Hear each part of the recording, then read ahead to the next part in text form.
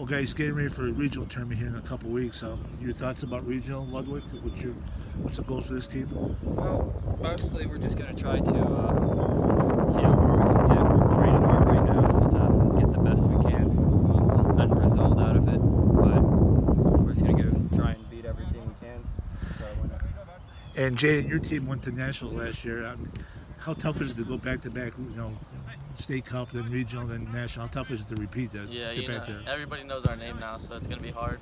But we just got to go out and compete against every team that we go up against and try to win regionals and get back to nationals and see how far we can get.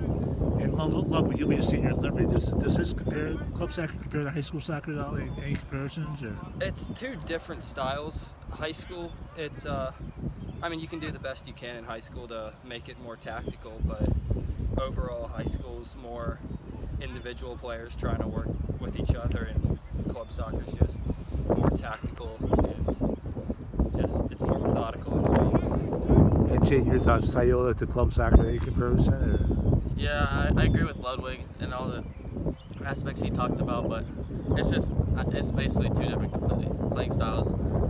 And uh, every game you got to compete and everything in the both, but club is just I don't know, it's, it's something different.